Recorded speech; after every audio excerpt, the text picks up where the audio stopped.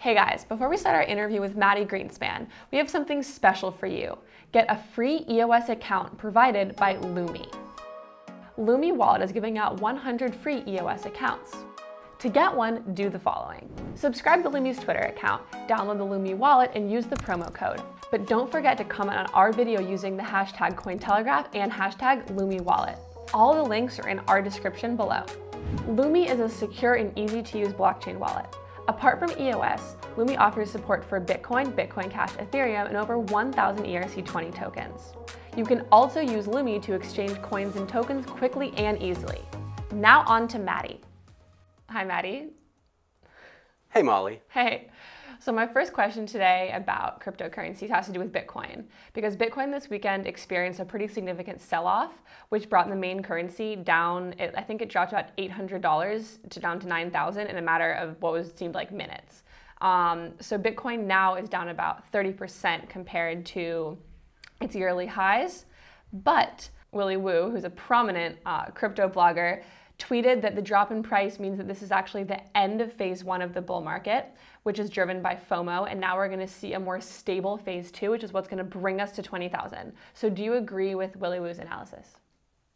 Well, I certainly hope so. I mean, right, that is the uh, wishful thinking. I mean, you can see this. This was a rather nasty drop. It's almost 4% in the span of uh, about 20 minutes, 30 minutes. Um, what was great is that the recovery came even quicker than the drop, right? So that we had that sell-off, um, and then uh, price bounced back. Um, we're at the at the moment we're about where we were before that sell-off happened.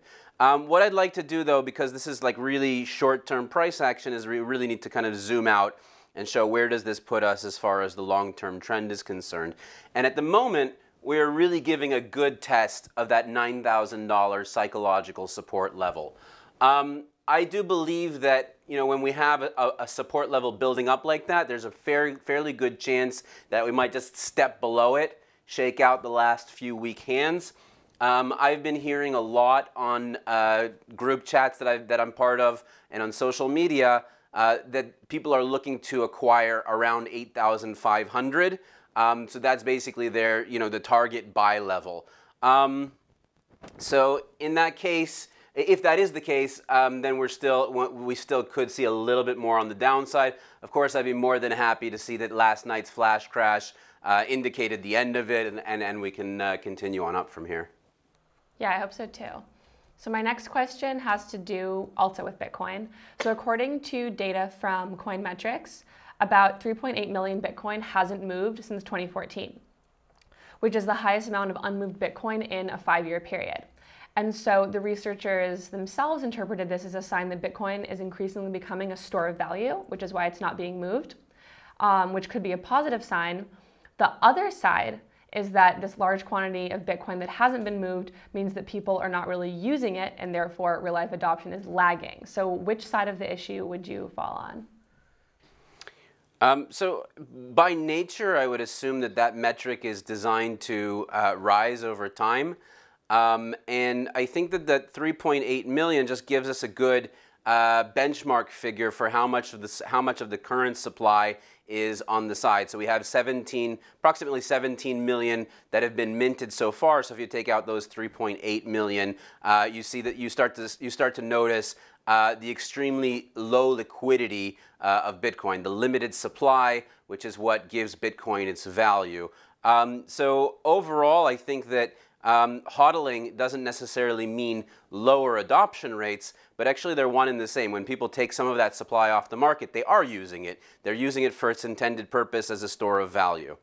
Yeah, that makes sense to me. Um, our next, actually, everything's about Bitcoin, it seems, this week almost. The next question. it's all about the Bitcoin. I mean, it, it honestly is. Um, this has to do with the Bank of China, which is among the biggest state owned banks in all of China released an infographic on its website explaining what Bitcoin is, um, how it works, and if it's valuable. Um, it's also been reported that China might be planning to launch its own currency, cryptocurrency, that would be a competitor to Libra. So, do you think that these two things, the rumor and then the infographic, are signs that China is more open to cryptocurrency than before? Um, yeah, I mean, and also we had uh, about a week ago um, some news where uh, one of the a, a, court in China had upheld Bitcoin as an asset, meaning that it was protecting somebody's property rights and saying that Bitcoin was property. Um, so I think that overall, I mean, China never really. I mean, there's a misconception that China has banned uh, Bitcoin. It hasn't. Uh, what it has banned is ICOs, um, and then later on, basically, they closed down the all of the BTC RMB pairs because they were worried about uh, capital flight using Bitcoin. Um, overall, I mean, the Bank of China, um, and they've said it themselves, are some of the top researchers on Bitcoin. They've been completely on top of this space since 2014.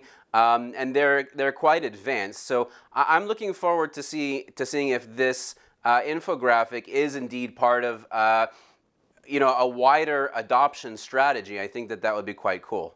There was a recent report by crypto exchange, the San Francisco Open Exchange, SFOX, um, where they said that Ethereum might not be considered an altcoin anymore. And the report points out that Ethereum shows a much higher correlation with Bitcoin than the rest of the altcoins do, which would make Ethereum, in their words, an asset on its own terms, much like Bitcoin. So do you agree or do you disagree with their findings? Um, so I, am not sure that they're able to really redefine the term altcoin. As far as I know, the term altcoin uh, means specifically any cryptocurrency that's not Bitcoin. So Ethereum definitely falls under that category. Um, also, what they were saying about the correlation doesn't really make much sense to me because um, if there's a higher correlation between an asset and Bitcoin, uh, that would strengthen the case for it being an alternative to Bitcoin. Uh, whereas if it was an asset under its own right, we would see a lower level of correlation. Um, all in all, I think that Ethereum is one of the top altcoins, and it has use cases that Bitcoin simply cannot participate in, such as smart contracts and the crea- and uh, you know ICOs, the creation of uh, of wealth in a democratized way. Um, but to just say all of a sudden out of a blue out of the blue that it's not an altcoin and that it's a completely different thing, I think that that's uh, taking things out of context. I want to say and tell our audience that you're about to be going on a vacation, if that's right. That's correct. Yeah, so we're going to miss you over here, but we'll see you again in September. Thanks a lot. Yeah, bye, Mati. Bye bye. While Mati is on vacation, comment below if you have any suggestions for analysts or traders you'd also like me to speak with. Cointelegraph. Like, subscribe, and hodl.